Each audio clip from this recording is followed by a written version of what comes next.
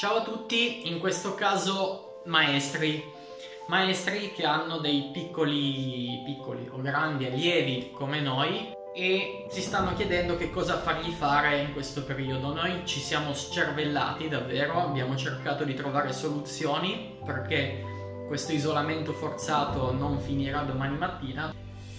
Cosa facciamo, cosa non facciamo? Non avevamo un modello, ci siamo dovuti inventare un po' tutto e siamo arrivati a una possibile soluzione. Intanto è rivolta a chi ha un minimo di spazio, basta anche davvero un garage o un cortiletto piccolo. Come è strutturato questo modello che abbiamo pensato? È abbastanza, diciamo, semplice nella sua scaletta, poi bisogna vedere se funziona. Noi prepariamo un video a settimana che carichiamo il venerdì sera su YouTube. Condividiamo questo link con i nostri gruppi di allievi, loro lo guardano, il giorno successivo ci sentiamo in videochiamata tutti insieme, quindi gli allievi di quel gruppo lì con il loro maestro si sentono, dovete solo trovare una piattaforma che funzioni, eh, su questo noi siamo ancora attimino in fase di valutazione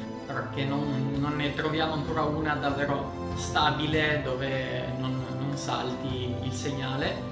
Ci sentiamo con gli allievi in videochiamata e diamo a loro diciamo dei chiarimenti rispetto al video che è stato fatto, chiarimenti personalizzati, perché conoscendoli sappiamo quali sono diciamo eh, i pregi e i difetti di ognuno, i punti forti e i punti deboli e allora diamo consigli specifici più precisi più mirati, anche sapendo dove andranno a farlo. Ognuno ha uno spazio a casa diverso dall'altro. Una richiesta che abbiamo deciso di aggiungere da questa settimana è il fatto che loro siano già in videochiamata pronti con il casco. Cioè, finita la videochiamata, loro escono di casa, prendono la bicicletta e fanno quello che, abbiamo, che ci siamo detti. E qui qual è la richiesta? Di filmarsi. Ovviamente le indicazioni sono semplici, non dobbiamo dare cose molto complesse. La prima lezione, ad esempio, è il surplus. Surplus dove chiediamo di farlo in un certo modo e di farlo per più tempo possibile. Indicazione data, fatelo provate, non provate una sola volta, provateci diverse volte.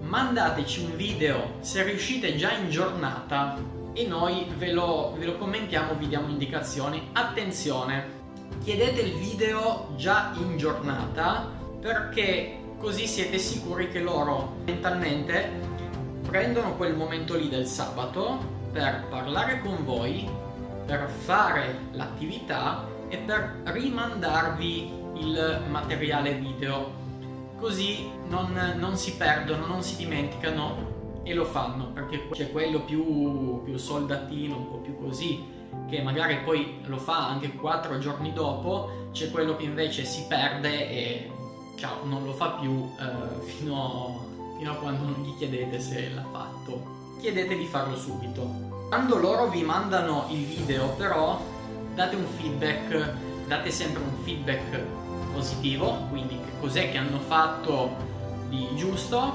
e poi dategli un'indicazione in più per fare qualche cosina di più rispetto a quello che avete visto.